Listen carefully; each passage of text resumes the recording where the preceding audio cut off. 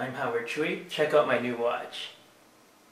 This is the Sony Ericsson MBW100. It's a Bluetooth watch.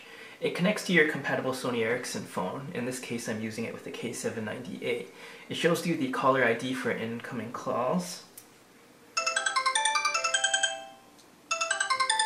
And it lets you reject them. It alerts you when you get a new text message. And it lets you control your phone's music player. Check it out. You can uh, play or pause the music. And you can skip forwards or backwards by pressing in and scrolling up or down. The watch doesn't beep, but it does vibrate.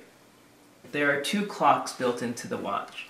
The digital one connects to, it syncs with the time on your phone while the analog clock is set separately.